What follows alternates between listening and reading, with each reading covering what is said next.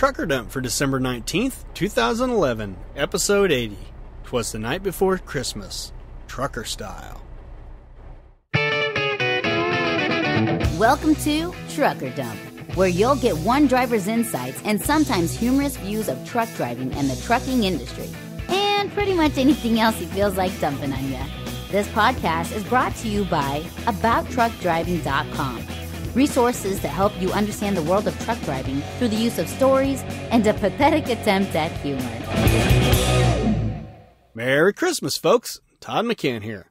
Well, I know all you elves are busy these last few days before Christmas, so I've decided to give you something that's short and sweet. Well, it's short anyway. But don't feel shortchanged just because it's not very long. This will inevitably become a Christmas classic. Something that you'll want to read or listen to as your family gathers around the tree on Christmas Eve. Uh, yeah, right. I give you Was the Night Before Christmas, Trucker Style. 'Twas the night before Christmas, and all through the truck, the only thing stirring was a case of bad luck. The stockings were hung by the chimney with care. Thanks to my job, I wasn't there. The nephews were nestled all snug in their beds, while visions of Modern Warfare 3 danced in their heads. With the evil overlord at home in her teddy, hey, it's my poem, and I on the road, we had both settled down to take off a load. When outside my truck there arose such a clatter, I sprang from the bunk to see what was the matter. I reached for my clothes, knowing I was certain. Prepared for the worst, I opened the curtain. The moon in the sky gave off such a great glow, it made the parking lot look like it was covered with snow. When what to my wondering eyes should appear but a flatbed loaded with big green John Deeres. With the driver outside looking at my truck, I knew right away I had more bad luck. As I jumped outside to check out my bumper, something flew over my head and then took a big dumper. My luck continued as I took it in the eye. It was such a huge load, it almost made me cry. As I looked to the sky, I swore I heard a jingle. I took cover and prayed it didn't need to tinkle. Alas, I did not see what dumped on my head, but I thought I glimpsed something that might have been red.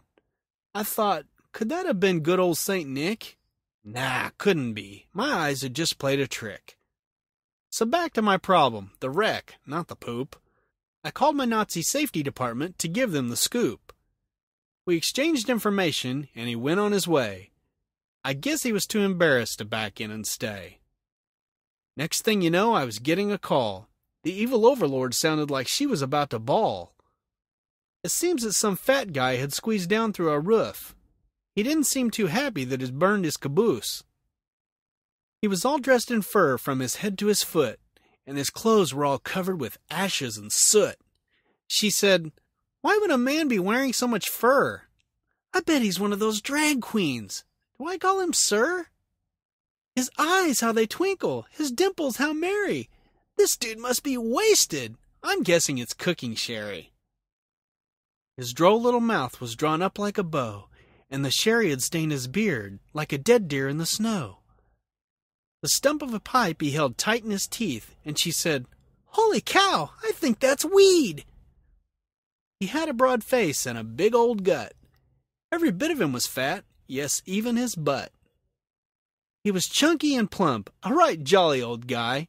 She said, I'd be jolly too if I was that high. A wink of his eye and a shake of his head. Are you kidding me, Perv? Not even if I were dead. He spoke not a word, but went straight to his work, and filled all the stockings with Doritos and beef jerk. And laying his finger aside of his nose, and giving a nod, up the chimney he rose. He sprang to his sleigh, and they lurched into flight. As she leveled the shotgun, she had him in sight. As he started to exclaim, she squeezed off a shot. That'll teach you to let your reindeer poop in my husband's eye. The end. Merry Christmas.